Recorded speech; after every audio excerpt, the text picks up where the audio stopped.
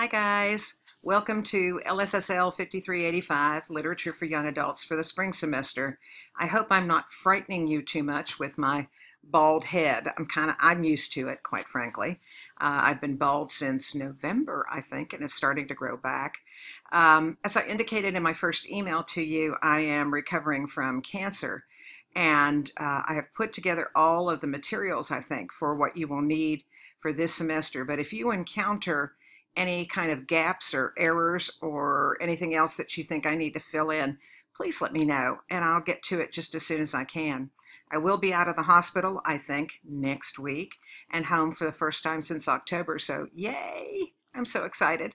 And I should be able to attend to your questions and comments then. So, welcome to the course. You're going to find lots and lots and lots of different screencasts here about how to do the different assignments. And again, if you still have questions, please feel free to email me. You can also call and leave me a message at the office if you'd rather do that. I won't be in the office much, as you can tell, but I will uh, have those calls forwarded to me, so I'll be able to pick them up just as soon as I can. I hope by the end of the semester I'll be sporting a, a different hairdo and uh, perhaps look just a little bit better, a little bit healthier by then. So, welcome to the course. And I hope you enjoy the readings and the textbook as much as we had putting them all together for you. Welcome to class.